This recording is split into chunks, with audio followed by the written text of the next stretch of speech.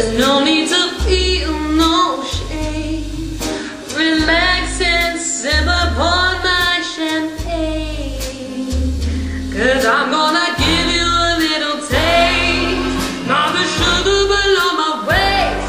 You nasty boy. Yeah.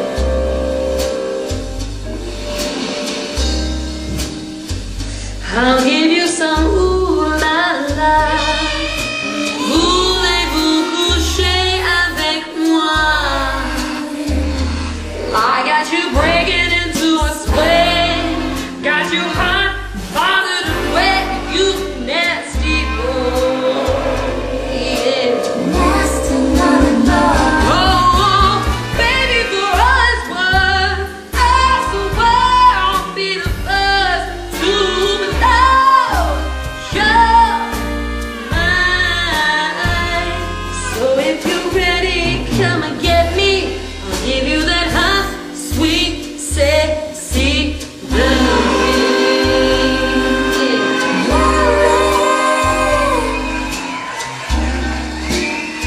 Uh, now.